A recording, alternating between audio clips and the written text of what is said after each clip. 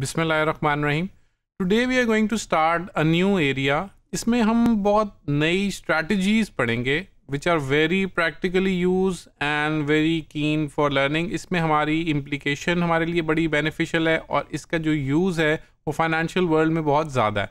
तो I strongly appreciate कि ज़रा इसको कंसनट्रेटेडली आप इसको सुने रिपीट भी अगर करना पड़े तो करें और डू प्रैक्टिस इट तो because it's slightly newer area पर ये थोड़ी एडवांस लेवल पे हम जा रहे हैं तो make sure we grasp it in a better way so we are talking about advance strategies जो रिस्क मैनेजमेंट में यूज़ होंगी। We have studied basics of forwards and future so we going to take them to the next level and utilise in our risk management strategies for your recalling forwards and future are similar we know they are both derivative use for our risk management purposes forwards are customised हमारे मुताबिक उनको tailor made किया जाता है और जो futures हैं they are more standardise and they trade on exchange and they have a standard practice structure होता है। उनकी लिमिट्स और क्लियरिंग हाउस उसको देख रहा होता है। Both have zero value initially इनकी वैल्यू जो है ज़ीरो होती है but as the time moves on prices move करती हैं देन द वैल्यूएशन चेंजेस तो ये कुछ बातें हैं जो हमें वी नीड टू रिकॉल थोड़ा सा ज़रा अपना माइंड फ्रेशन अप कर लें with respect to forwards and futures so then we take it to the next level the future of an equity index index जब हम बात करते हैं जैसे आपके एस सी हंड्रेड इंडेक्स है या के एम आई थर्टी इंडेक्स है ये सारे इंडेक्स हैं जिसमें नंबर ऑफ़ स्टॉक्स के साथ कंपाइल uh, करके वो कैलकुलेट हुआ होता है। तो when we say we want to have future in index तो वो फिर इस तरह ऑपरेट कर रहा होता है कि that it has an index value कि जो इंडेक्स का नंबर है and then that is multiplied by a fix multiplier कि ये इतने मल्टीप्लायर पे ट्रेड होगा। For example S and P five जो है, ये टू फिफ्टी के टाइम्स पे ट्रेड होता है।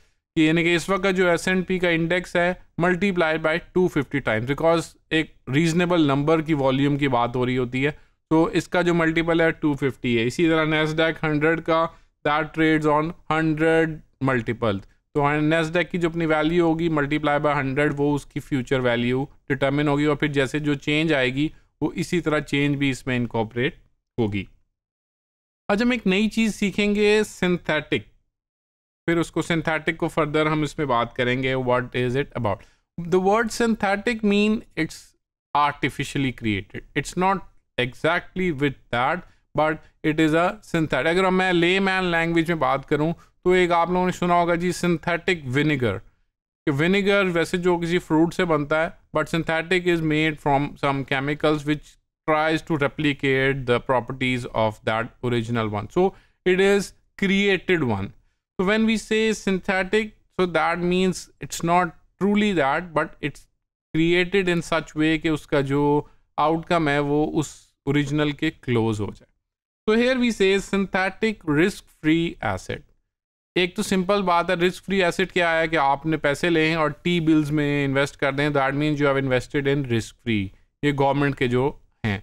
But when we say synthetic risk free वो क्या मतलब है कि आपके पास कुछ स्टॉक्स पड़े you are long on stock ये लॉन्ग वाला वर्ड हम रिपीटेडली यूज़ करेंगे long mean you have a buy position यानी कि आपकी होल्डिंग है।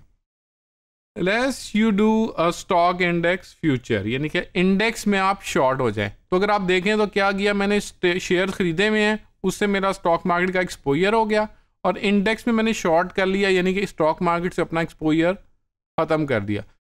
प्ला exposure positive and negative left with me is the risk free rate कि मेरे पास जो बचा वो रिस्क फ्री रेट है।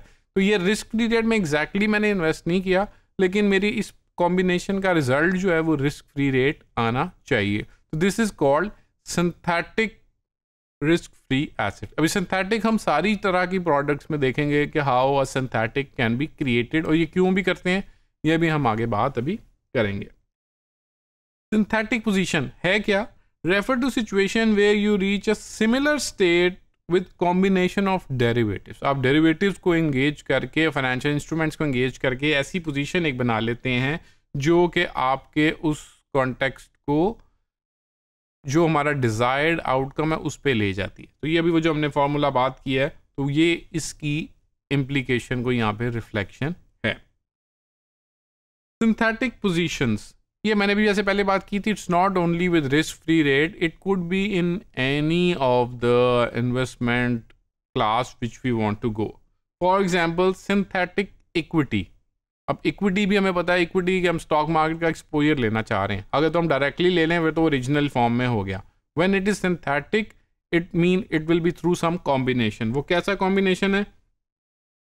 Long with risk free rate मतलब पैसे कहाँ पे इन्वेस्ट करें? रिस्क फ्री रेट में, ट्रेजरी में इन्वेस्ट कर लें।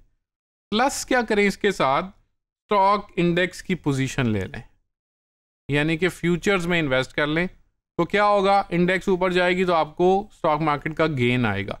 तो पैसे आपके पड़े हुए हैं रिस्क फ्री रेट में, लेकिन स्टॉक मार्केट का आपको एक्सपोजर आ रहा है फ्यूचर से। तो यानी कि जो स्टॉक मार्केट के रिटर्न आएँगे, वो आप गेंस भी आ सकते हैं लॉस भी आ सकते हैं। तो आरएफ में पैसे रखते हुए भी आपका एक्सपोजर इक्विटी का हो गया। तो ये एक synthetic equity है। Have exposure of equity whereas money is invested in risk free rate synthetic position हम इंडेक्स में लेना चाहते हैं।